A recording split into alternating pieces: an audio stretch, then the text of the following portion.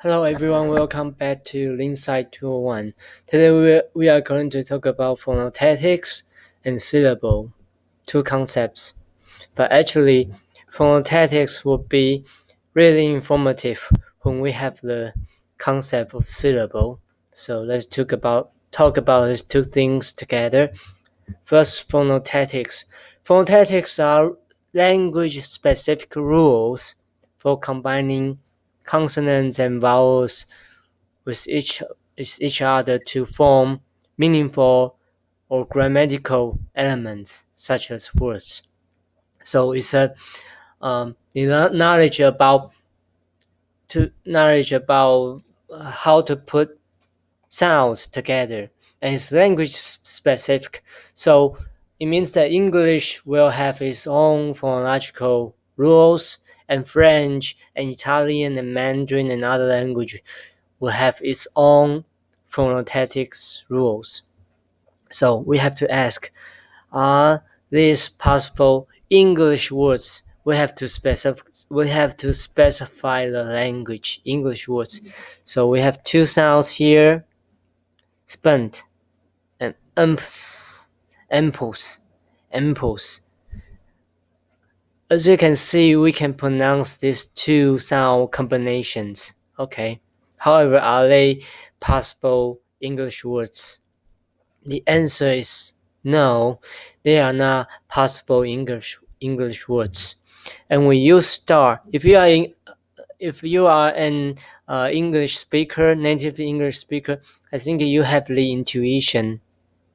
When someone says spent, spent, you feel something strange. This is not a possible English word. And same apply for, for impulse. Impulse. Okay. So let's try to formalize some rules to to rule out these two sound combinations. Okay. The first the first attempt is to say that English the uh, English, the mental rules in a native English speaker does not allow adjacent sp combination and mp combination. Okay, this is the first attempt.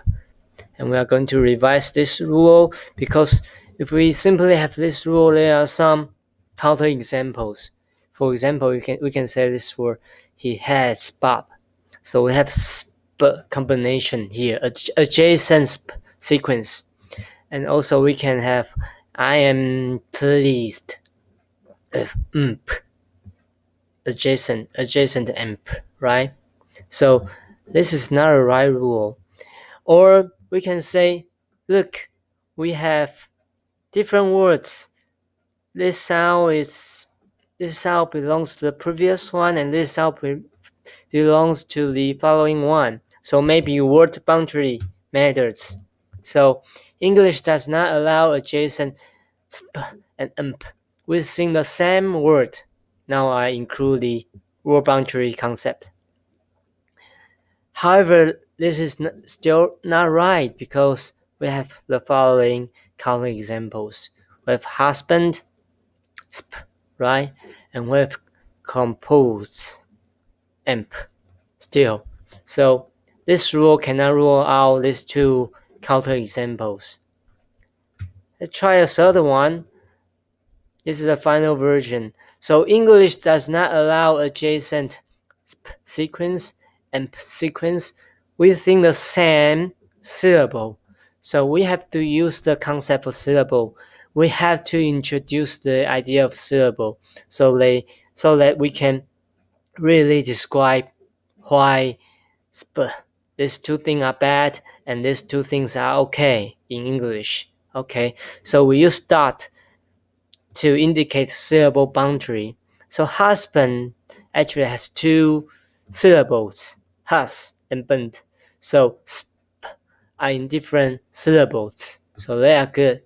And here compose with come and p in two different syllables. So they are two, two different syllables, so they are okay from this rule. And on the other hand, this is one single syllable and sp, is in the same syllable.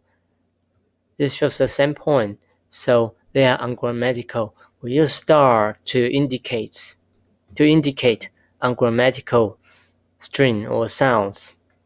Okay.